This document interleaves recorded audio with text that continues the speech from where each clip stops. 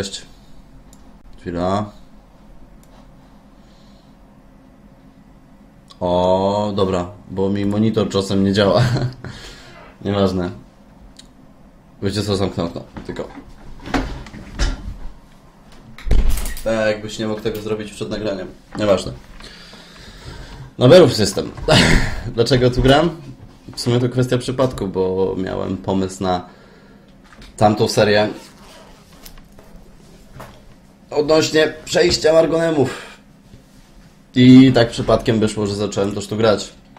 Ogólnie e, rzecz biorąc, jeśli mam Wam opowiedzieć, co mną kierowało, jakie były motywy napędzające, dlaczego właśnie zacząłem coś takiego robić, zacząłem, przepraszam, e, to tak, na pewno to nie będzie wyglądało na sposób taki, że ja rzeczywiście de facto tą postacią wbiję ten 300 poziom na Berufsie, tylko to ma służyć powiedzmy jako prezentacja, a jako powiedzmy taka prezentacja użyłem sobie e, na początku mm, tej postaci o, do osiągnięcia właśnie od pierwszego do 25 poziomu. Możliwe, że ja również użyję tej postaci do, do osiągnięcia i pewnie tak będzie, do osiągnięcia dalszego pułapu, czyli do 50 poziomu. Yy, I tak, yy, Możliwe, że później dalej, jeśli na przykład okaże się, że ten próg na Berówsie będzie dla mnie za wysoki, że ciężko będzie mi powiedzmy przebić się przez czerwone mapki, przy czym sklejać to na bieżąco, bo z reguły robię tak, że układam sobie powiedzmy taki ala scenariusz. Przynajmniej tak robiłem wcześniej. E, I względem tego scenariuszu staram się tam ponagrywać jakieś tam mniejsze klipy i tak dalej i co chwilę jakby powiedzmy minimalizuję sobie, przerzucam okienko i tak dalej, yy, doklejam to i tak. A na Berufsie jakbym już dalej przeszedł na taki inny pułap, jak na przykład mam postać, która ma tutaj, że tak powiem 97 poziom, to już teraz przejść przez taki pułap jak nie miśki, jak nie wiem, no na piratów mogę iść oczywiście, chodzi mi, że mogę iść sobie na te miśki, ale jeśli miałbym robić coś takiego, jak właśnie robiłem, stawać co chwilę na tych czerwonych mapkach, to wydaje mi się, że długo bym nie pożył. Ale jeśli chcielibyście na przykład, bo było osoby, które mi proponowały, ty dawaj na Brutalu, ty dawaj na Berufsie, ty dawaj na tym, albo ty weź tam, zrób to. No to właśnie o to mi chodzi, czy nie chcielibyście na przykład, żebym tam tej postaci też wbił na jakiś poziom, żebym poprzedzierał się poprzez te czerwone mapki, żebym pozabijał ludzi, nie wiem, podręczył ludzi, e, powkurwiał ludzi na tym berówsie i tak dalej, i tak dalej, bo mogę. Najwyżej padnę, najwyżej nie padnę, albo coś takiego. W sumie to nawet może zaraz co pójdziemy pograć. A co mi szkodzi? Możemy sobie pogadać, możemy sobie pograć. E, to da. No, Berus fajny świat. Tylko trochę ryzykowny. Co tu robię na tym postaci? O, jest władca. Łowca czaszek, przepraszam. E, tak, będę musiał tylko umiejętności sobie ogarnąć. Dobra, wiecie co? Może zrobię małe cięcie i się za chwilę widzimy. Przygotuję tutaj tą postać. Hmm, tak na dobrą sprawę tu nie musiałem dużo robić. Ale dobra, idziemy na Andarum. Jeśli umrę za 5 sekund, jeśli umrę za 10 sekund, jeśli umrę za 20 sekund, to nie miejcie mi za złe, bo jednak taka przyszłość i tak musiałem je czekać, że na te czerwone mapki jednak trzeba iść. Może opętanego paladyna znajdę. Właśnie najgorsze jest na tym świecie to, że naprawdę jeden błąd może ci kosztować tyle, że będziesz napierdalał w tą klawiaturę, będziesz napierdalał w tą myszkę, będziesz robił cokolwiek, będziesz wyładowywał tą swoją agresję, ale nic ci tego nie przywróci. nic. Nie ma czegoś takiego jak save. Nie ma czegoś takiego jak czytanie gry. Nic nie ma. Mm, co ja bym z Wami chciał porozmawiać? A, odnośnie tego jeszcze, dlaczego zacząłem robić coś takiego jak taki powiedzmy ala tutorial. Ze względu na to, że jak patrzyłem na swoje starsze filmy, to z reguły to wyglądało w ten sposób, że albo clickbaity się przebijały, czyli właśnie jak dojść na elitę 99 poziom.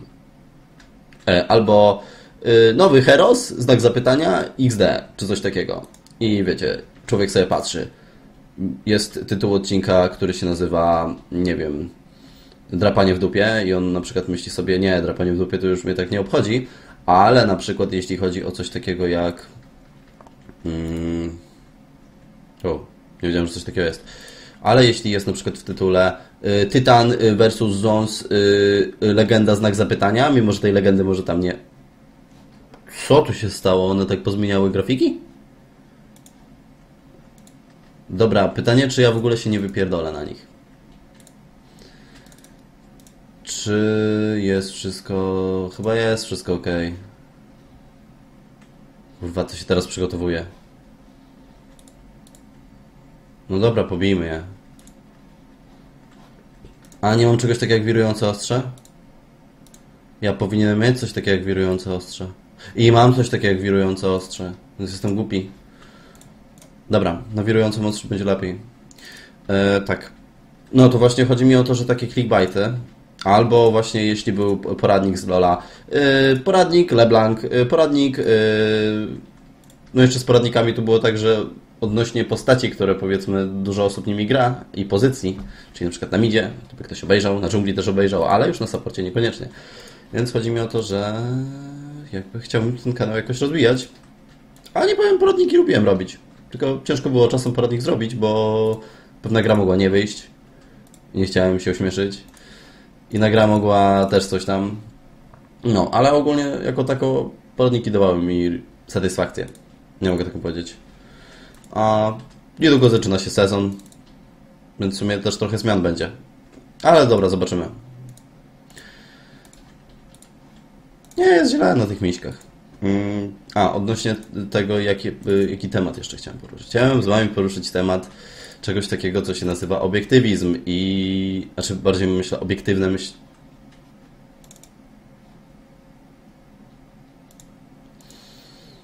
Kto to był?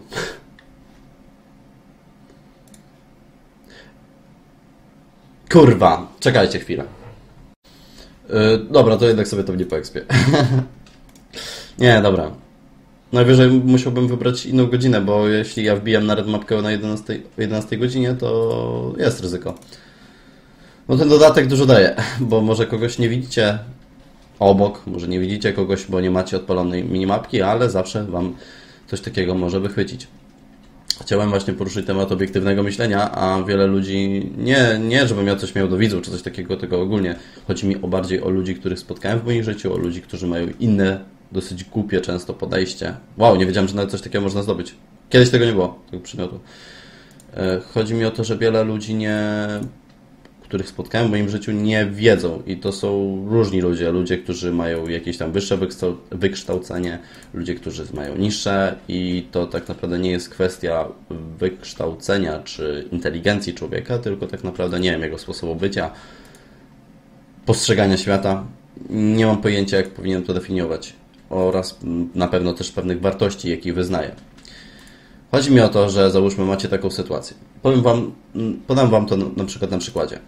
Nie bez powodu, jeśli załóżmy z zawodu jesteście sędzią i macie dokonać, powiedzmy, sprawiedliwego wyroku, analizując argumenty za, e, analizując argumenty przeciw, jeśli chodzi o właśnie o wyrok wskazujący o pozbawienie wolności i tak dalej. I załóżmy, mielibyście taki przypadek, że wszystko by wskazywało, że on zabił, on zabił, on zabił i tak dalej, on jest chujem i w ogóle, tak? Wszystko by wskazywało dosłownie na to, ale jednak gdyby się zdarzyła taka sytuacja, bo też wszędzie, wszędzie dosłownie można znaleźć też y, rzeczy łagodzące.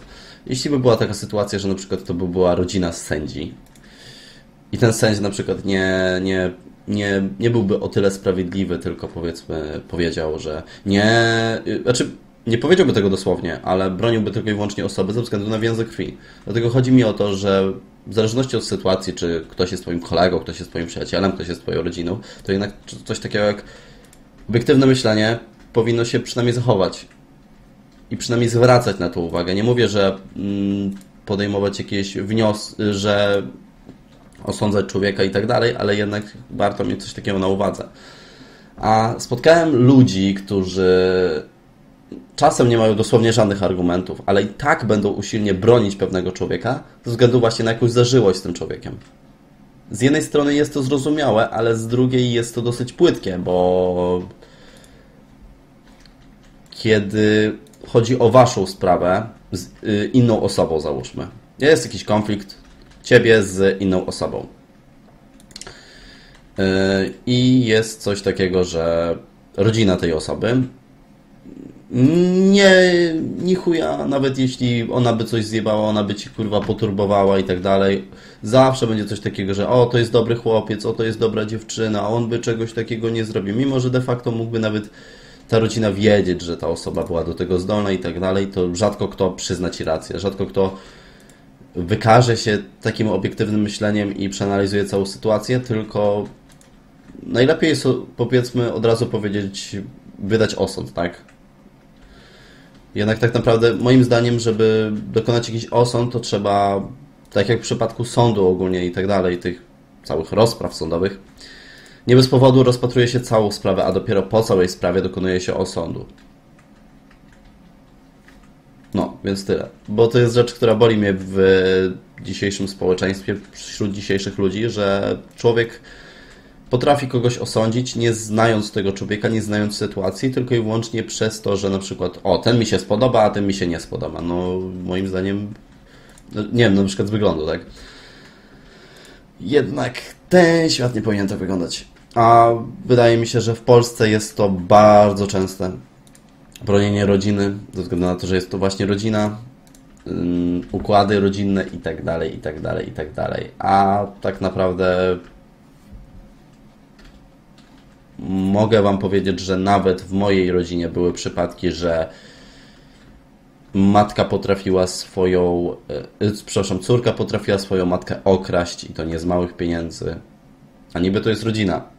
Tylko, że w takim przypadku definiuje się, czy rodziną można nazwać osobę, która rzeczywiście jest, ma jakiś więzy krwi z Tobą, czy bardziej że tak powiem, po rodzinnemu nie może się zachować obca osoba, której nie znasz, nie masz z nią, czy nie znasz, nie masz z nią zażyłości, jeśli chodzi o krew, czyli nie jest twoją rodziną, ale może się zachować lepiej od twojej własnej rodziny, więc no cóż, to jest może trochę zawiłe, ale jeśli wiecie, może jakoś zrozumieliście o co mi chodzi i tak dalej. No, chodzi mi o to, żeby na pewno obiektywnie myśleć, analizować sytuację i tak dalej. Nieważne, bo pierdolę głupoty pewnie. Pewnie tak y, będziecie uważać. No i często mogą być też w życiu sytuacje, że będziecie mogli polegać tylko i wyłącznie na sobie. Będziecie uważać, że o, mam ziomeczków, o, mam ziomeczków i tak dalej. Te ziomeczki to normalnie ze mną, wiecie, yy, napiją się cały czas i tak dalej. Oni to zawsze znajdą ze mną czas, bo to są moje ziomeczki, nie? Ziomeczki to ponad życie, nie? Wiecie o co chodzi, nie? No, ja, ja tu mam ziomeczka, poznałem go normalnie jak miałem 15 lat, nie? I ja to jak będę miał, teraz mam 20 i zaraz jak będę miał y, 30 i nawet 4, i nawet jak 70, to ja z nim się spotkam, bo to ziomeczek jest ponad życie i tak dalej, wiecie. No. No nie. Moim zdaniem jest coś takiego, że chodzicie do szkoły, macie to, kończycie szkołę średnią, macie 18-19 lat. Niektórzy pójdą do pracy, niektórzy pójdą na studia. To powiedzmy, powiedz, dobra, dajmy na to przykład, macie taką zgraną klasę w szkole średniej, liceum, technikum, whatever. Wy się tam trzymacie, JLB i w ogóle, ziomeczki, ziomeczki. Potem przychodzi jednak taki czas, że z tej całej klasy część, połowa powiedzmy pójdzie na studia, połowa pójdzie do pracy, ktoś tam jeszcze pójdzie na przykład gdzie indziej, ktoś tam dziecko będzie miał, załóżmy, bo tak wyszło, i ta grupa się rozprasza. E, część osób może utrzymywać ze sobą kontakt jeszcze powiedzmy w wieku 20-22 lat, ale prędzej czy później uważam, że w życiu każdego człowieka każdy człowiek i tak pójdzie swoją ścieżką. O to mi chodzi. I wmawianie sobie, że ziomeczki, ziomeczki i tak dalej, pójdę swoją stroną. Yy, przepraszam, że ziomeczki, ziomeczki i cały czas yy, będę miał kontakt z tą osobą i tak dalej. Nie, zawsze kontakt się urywa. Moim zdaniem jeszcze mm, jako tako ludzie utrzymują ze sobą kontakt jeszcze z y, takich wcześniejszych czasów, ale to maksymalnie do 25 roku życia, bo potem no jednak są pewne wyrzeczenia, tak jak mówiłem, praca, studia, znaczy no już studia potem nie są, chyba że ktoś idzie dopiero potem. Nieważne. Ale wiecie o co chodzi. Każdy się rozprasza i tak naprawdę Dlaczego o tym mówię? Bo znam ludzi, którzy potrafią dosłownie powiedzieć Ci O, albo wybierasz y, dziewczynę, albo wybierasz ziomeczków. Pamiętaj, Dominik, że ziomeczków to możesz mieć jednych, a dupę to możesz mieć każdą, możesz mieć tą, tą, tą, tą, tą. Yy, odniosę się do tego drugiego, że dupę możesz mieć każdą. Yy, tak, powiedzmy, możesz mieć. Tylko pytanie, czy chcesz mieć każdą? Jak poznasz, powiedzmy, osobę, która będzie ci bliska Twojemu sercu i po prostu uznasz, że okej, okay, ją kocham, z nią chciałbym spędzić swoje życie, ale tak naprawdę. Hmm, Boże, bo się zawiesiłem. Ale tak naprawdę, no okej, okay, mógłbym mieć inną, mógłbym mieć ładniejszą i tak dalej, ale to nie są moje wartości, które wyznaję i ja nie potrzebuję mieć powiedzmy ładniejszej, po prostu cenię na przykład tą dziewczynę za charakter i tak dalej, i tak dalej, za to jaka jest. Mm, no i tak. A jeśli ktoś uważa, że z ziomeczkiem będziesz mógł mieć dziecko w przyszłości, będziesz mógł założyć rodzinę,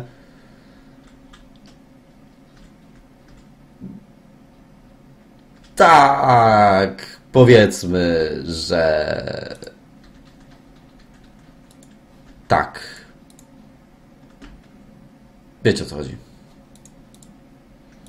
Chodzi mi o to, że w życiu trzeba czasem wybrać, co jest ważniejsze. A moim zdaniem człowiek, który w wieku, nie wiem, tam jakimkolwiek, już takim poważniejszym, gdzie poważnie myśli o jakiejś osobie, poważnie myśli o swoim życiu, będzie wybierał takie dosyć płytkie rzeczy, tak jak na przykład wybrałby dziewczynę, która by była w nim zakochana i tak dalej, i tak dalej, a wybrałby ziomeczków. No. A to są ogólnie sytuacje z mojego życia. Powiem tak. Było tak, że byłem za granicą. Myślałem, że o, wrócę do Polski, tutaj jest jednak nie jest tak źle, znajdę sobie tutaj pracę i tak dalej, że wiecie, że będzie fajnie i tak dalej, i tak dalej, ziomeczki będą i tak dalej. Znaczy, Boże, ja, ja, ja to bardziej może nie nazywałem ziomeczki, ja znam takich ludzi, co tak nazywają. Ogólnie nazwijmy to przyjaciele, tak? W moim przypadku to było tak, że się łudziłem, że jednak ktoś tu na mnie czeka, że są ludzie, dla których powiedzmy coś znaczę. Życie zinterpretowało to w inny sposób i okazało się, że każdy ma we mnie wypierdolone że każdy ma wyjebane. Mm, jest trochę przykro, ale cóż poradzisz, każdy w życiu podejmuje wybory. Nie mówię ogólnie o czymś, tak, jak wcześniej mówiłem, chodzi mi o to, że nie mówię, żeby się y, ten. Bo wiadomo, że w jakimś tam starszym wieku i tak dalej ludzie nie mają już tyle czasu, bo mają pewne wyrzeczenia, ale chodzi mi o to, że ja zostałem potraktowany bardziej w taki sposób, że o, nie było cię pół roku, wypierdalaj. Coś ten deseń. No. To dosyć przykre, bo... No ale cóż poradzisz. Mam swój kanał na YouTubie, mam kota, mm, mam samochód, y, ten, no. Jak dalej się potoczy moje życie? Czy zostanę w Polsce? Czy znów emigruję? Jak na razie jeszcze nie wiem. Jak na razie chciałbym jeszcze zostać w Polsce ale de facto, tak jak jestem tu w tej Polsce, jak jestem w tym kraju, strasznie ciężko jest mi się przyzwyczaić. Jest mi naj, najbardziej ciężko mi się przyzwyczaić ogólnie na zarobki, które tutaj są. Chociaż. Znaczy, chodzi mi o to. Ja powiem Wam szczerze, że jeszcze tydzień temu, no dobra, 10 dni temu, jeszcze miałem zupełnie inne nastawienie moje nastawienie zmieniło się diametralnie. Tak jak jeszcze przed chwilą uważałem, że jednak w Polsce nie jest tak źle, bo mi brakowało bardzo tego kraju, nie jest tak źle i tak dalej. No to. No. Nieważne. Yy Powiem Wam tak, ogólnie rzecz biorąc, teraz jak już powiedzmy mam jakieś przeżycia z tej Polski i tak dalej, to wyjazd za granicę nie będzie niczym bardzo bolesnym, bo jeśli im, im teraz to tak naprawdę jak ja się zawodzę na jakimś y, dalszym człowieku i tak dalej, jeśli ktoś na przykład pokaże, że o, już tam chuj mam w Ciebie wyjebane, to już nie byłby dla mnie taki cios ze względu na to, że wiem, że jeśli bym wyemigrował, nie byłbym w tym kraju, to już tak bardzo bym nie tęsknił że już powiedzmy nie miałbym bardzo do czego wracać, jeśli bym powiedzmy zabrał wszystkie rzeczy tu stąd, które są mi potrzebne. mogę sobie normalnie ułożyć życie za granicą i nie będę miał jakiegoś wielkiego bólu serca. Bo właśnie da się ułożyć życie za granicą, tylko chodzi o to, że jeśli masz, powiedzmy, no nie wiem, dajmy na to przykład, masz dzieci w Polsce, masz rodzinę w Polsce i tak dalej, to tak, brakuje oczywiście takich wartości, brakuje takich ludzi, tylko jeśli w przypadku na przykład, że nie wiem, pokłócisz się z rodziną i to tak ostro się pokłócisz i tak dalej i naprawdę nie chcesz od nich, nie chcesz z nimi utrzymywać kontaktu, to jaka to jest dla Ciebie różnica, czy mieszkałbyś w tym samym mieście, tylko na innym osiedlu, yy, czy mieszkał za granicą, gdzie możesz ogólnie więcej zarobić i tak dalej, i tak dalej, i tak dalej, i tak dalej, i tak dalej i nie zależy Ci ogólnie, żeby na święta powiedzmy być z rodziną i tak dalej, i tak dalej, i tak dalej. Wiecie o co chodzi? Jednak prawdę mi jeden człowiek ostatnio powiedział, że jednak za granicę to jednak ludzie albo chcą coś ukryć, albo po prostu uciekają. Albo jeszcze trzeci argument oczywiście, który większość ludzi przywoła, że no pieniądze, a jednak to też jest prawda. Bo taki szary, przeciętny zjadacz chleba, no nie oszukujmy się, ale w niektórych krajach takich jak Norwegia, jak nie wiem, Niemcy i tak dalej, i tak dalej, i tak dalej zarobi dużo więcej.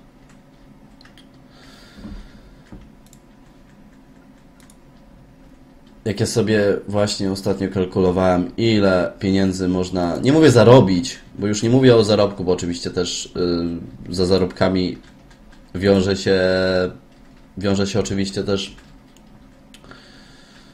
też różne opłaty są większe, tak jak, jak w Polsce, ale chodzi mi wprost proporcjonalnie opłaty, a zarobki, no to jeśli potem zamienisz jeszcze to na złotówki, to wyjdzie sporo. Na przykład dwie osoby w Norwegii, które mieszkają, powiedzmy chłopak, dziewczyna, pracujący 5 lat, mogliby zaoszczędzić, oczywiście troszkę zaciskając pasa, tak? Czyli nie wydając na głupoty, mogliby zarobić przez 5 lat milion złotych. Oszczędzić, przepraszam. Oszczędzić milion złotych. No, mały pieniądz to to nie jest. Więc nawet przemęczyć się te parę lat potem, nie wiem, dom wybudować, kurwa, basen sobie zrobić i tak dalej, i tak dalej, i tak dalej. No, pytanie, czy ogólnie człowiek tego chce, czy nie będzie mu brakowało tej Polski i tak dalej, i tak dalej, i tak dalej. Dobra, wiecie co, bo ja pierdolę chyba głupoty. Pewnie uznacie, że jestem głupi, że podejmuję takie kontrowersyjne tematy. Nie, żebym kogoś jakoś bardzo nakłaniał y, po to, żeby nie był patriotą, żeby nie został w tym kraju, żeby nie walczył za niego i tak dalej, tylko chodzi mi o to, że Ludzie emigrowali nawet i w XVIII wieku, i w XIX wieku, więc to nie jest jakaś nowa rzecz, tylko chodzi mi o to, że jest na pewno jakiś powód, dla którego nie jeden Polak emigrował. A w dzisiejszym świecie macie dane na przykład, dobra, dajmy na to sobie Polska. W Polsce jest, tak jak mi się wydaje, 40 milionów mieszkańców. Jeśli chodzi o samą Polskę, tak? 38 milionów. Dobra. E, statystyki polskich imigrantów. Migracje.gov.pl Wydaje mi się, że w samej, yy, samej Anglii to będzie 3 miliony. Jak nie 4.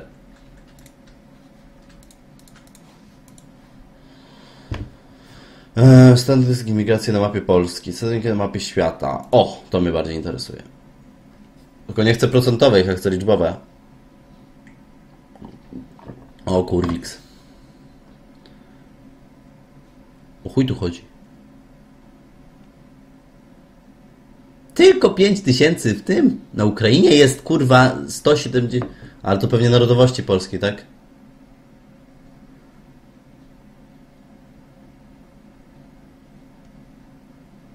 Mm, to jakieś zjebane chyba statystyki są, bo oni pewnie biorą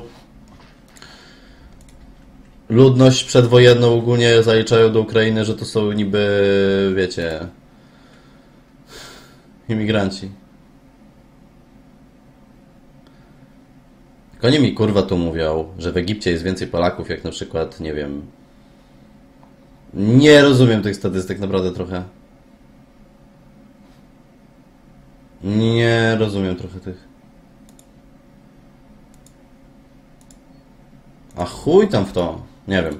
Naprawdę nie wiem, jak to mam interpretować. Ale nieważne. Chodzi mi o to, że naprawdę no nie jeden Polak emigrował.